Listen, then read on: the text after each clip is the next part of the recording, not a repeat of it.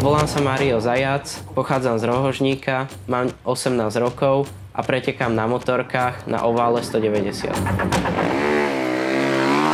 Motorky pre mňa nie sú len hobby, keď v tom vyrastáte od mala, stáva sa to pre vás už životným štýlom. Motorky mi prinášajú ciele, stále na sebe pracovať, uvedomujem si, že keď chcem byť dobrý, nemôžem si dovoliť oddychovať alebo na sebe nepracovať. Poháňa ma to dopredu, Pretekám vďaka mojim rodičom, ktorí ma neustále podporujú, či už vo športe alebo vo osobnom živote.